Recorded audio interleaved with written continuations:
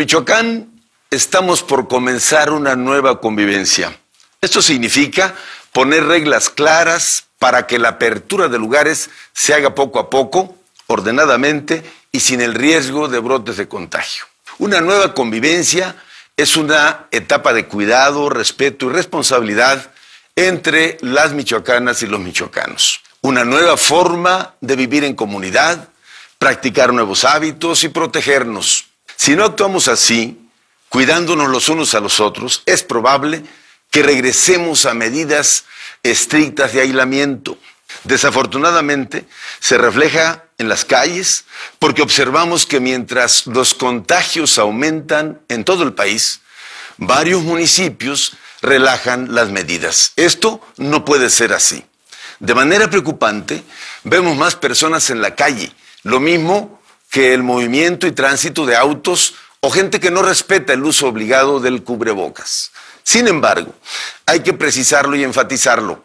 Estamos en la etapa más crítica del crecimiento de contagios y en consecuencia de muertes. Lamentablemente, en nuestro estado siguen entrando pacientes a hospitales enfermos de COVID-19 y mientras eso siga sucediendo, no podemos bajar la guardia. A partir del primero de junio, comienza entonces en Michoacán la etapa denominada nueva convivencia. Vamos a arrancar esta nueva convivencia con medidas muy claras, pero muy firmes, de cumplimiento de las reglas y protocolos sanitarios. Seremos muy puntuales en la vigilancia sanitaria.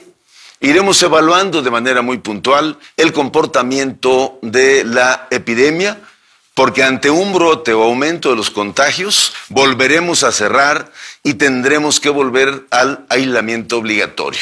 Todo dependerá de la responsabilidad con la que tomemos todas y todos esta etapa de la nueva convivencia. El reto de todos en esta nueva convivencia es que no aumenten los contagios ni las muertes.